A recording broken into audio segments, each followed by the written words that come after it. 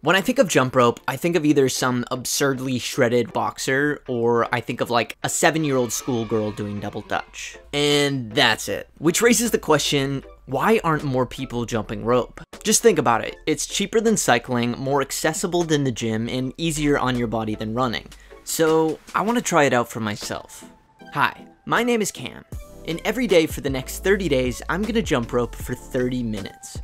My goal is to see how much my body will change and hopefully show how beneficial jump rope can be for an average Joe like myself. On day one, I weigh in at 151.9 pounds with a body fat percentage of 16.3%. In addition to any physical changes, I also want to test one more thing. Yo, do you think if I skipped with a weighted rope for 30 days that I could beat you in a in a strength competition? Seriously? Yeah. No. That's a stupid question. Challenge accepted. For my training, I'm going to be using a series of ropes from Crossrope, who were kind enough to sponsor this video. I'll be using their speed rope as well as their one pound weighted rope, which sounds light, but... Yo, that's weighty, dude. You're gonna struggle. to get a sense of where I'm at on day one, I do a timed skip with the one pound rope.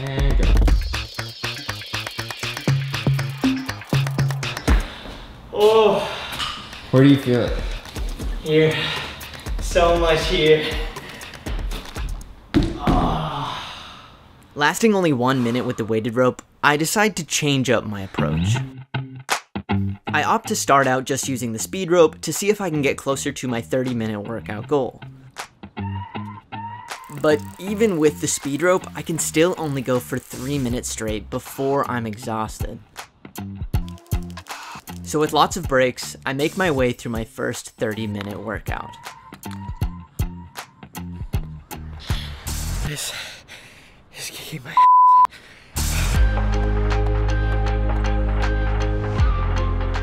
As I go on, my skipping gets slower and my breaks get longer.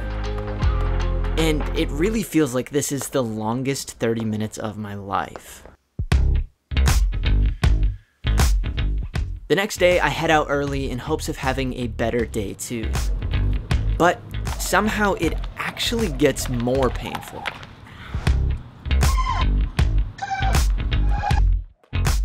Whether it's my leg or my finger or my arm, I'm getting whipped by my jump rope every workout, and sometimes it's pretty bad. So I got smucked pretty good the other day while I was skipping, and uh, check out this bruise. Alright, for reference, this is my regular finger.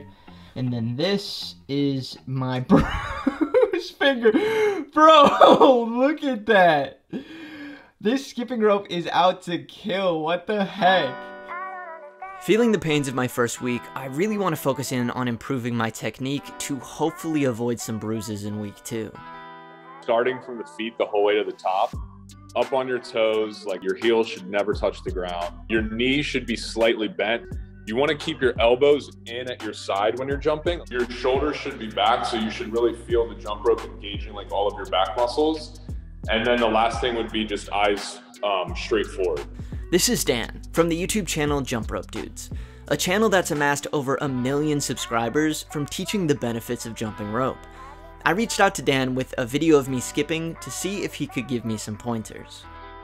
So your form im- im- immediately is like pretty good.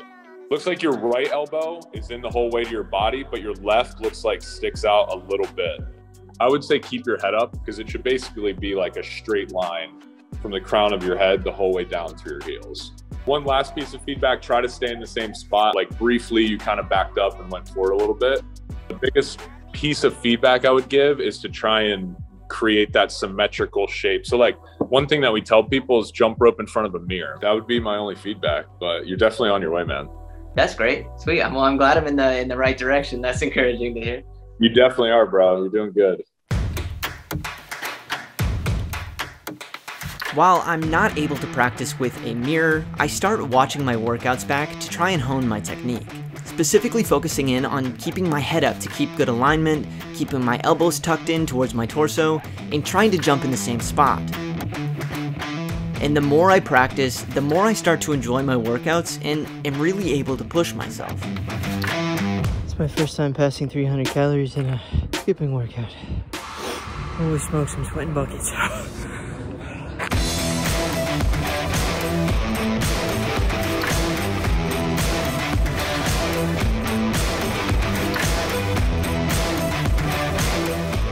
With every day that I practice, I feel like I get better, and I really start to have some fun with it, except for when I still whip myself with the rope.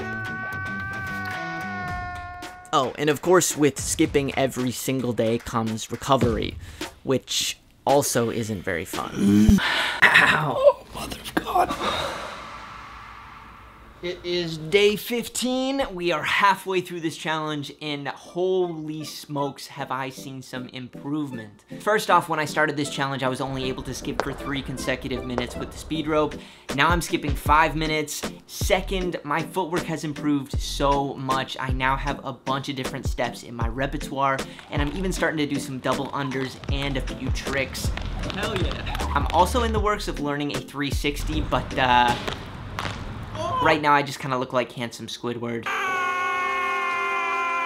How stupid does that look? Pretty bad. So definitely lots of positives. However, on the other side of things, I'm getting a little bit nervous about this final challenge with Brendan.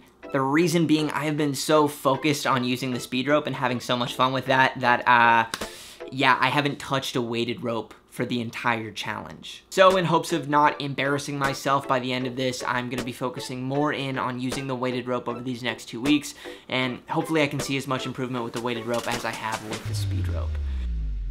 The next day, I time myself to see if I've made any improvements from where I started with the weighted rope.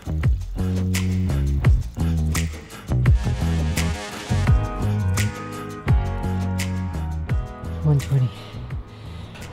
That's not good enough. I gotta get better. The weighted rope is a whole different experience from the speed rope.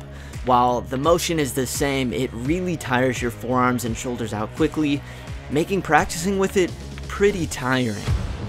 I don't know if you can see this, but my hand is shaking. My forearms are getting wrecked from these weighted rope workouts. To make things a little easier, I settle in on a workout of 10 minutes of speed rope, followed by 10 minutes of weighted rope, with lots of breaks of course, and then finishing with another 10 minutes of speed rope. And with my workout routine locked and the final week approaching, all that's left to do is finish this challenge strong.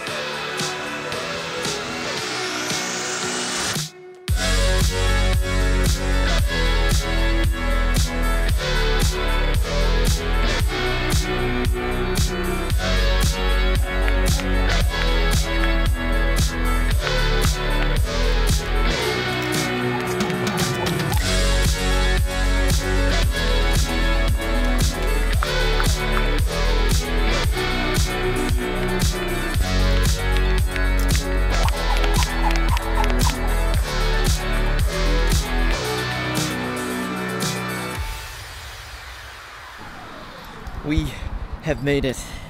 Today is the final day, and normally I feel nervous doing final tests or challenges, but uh, right now I just kind of feel excited, and I think that's because win or lose with this final competition, this challenge has been a huge success. I've seen improvements in my foot speed and coordination, my cardio, I feel stronger. Honestly, I just feel like jump rope is such a good mix of fun and good exercise. And if you want to make exercising a lasting habit, one of the best things you can have is an element of fun to it. And I think jump rope is like the perfect vehicle for that. So I guess all that's left in this challenge is to uh, go beat Brendan. Let's get it. The challenge is simple. Who can skip the longest with the weighted rope? The only other element is that if you mess up, your time stops, you have to go do 5 overhead presses with the dumbbell, then back to skipping. The longest time wins, and Brendan is up first. Here we go. Three, two, one, go. Brendan gets off to a really great start, crushing his first minute easily. But by the minute 30 mark, the fatigue starts to set in. I don't like it. I don't like this. And with that fatigue comes mistakes. Five overhead presses later, and Brendan is looking gassed. Okay.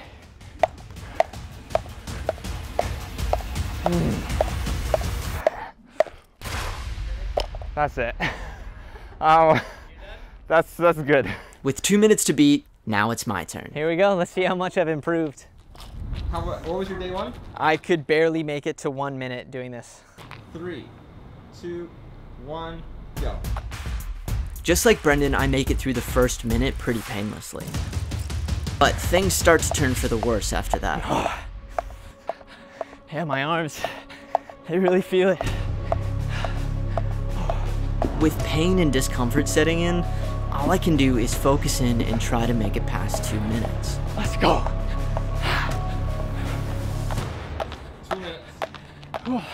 With the satisfaction of knowing I've beat Brendan, from here, I honestly don't really know what comes over me. I get a second wind and keep going, focusing my sights solely on how far I can push myself. Let's friggin' go.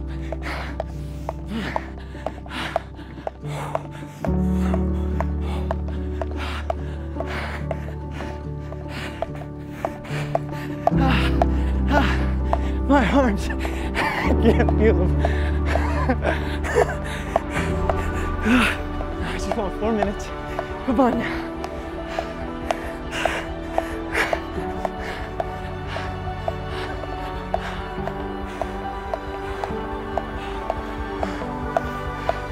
Four minutes.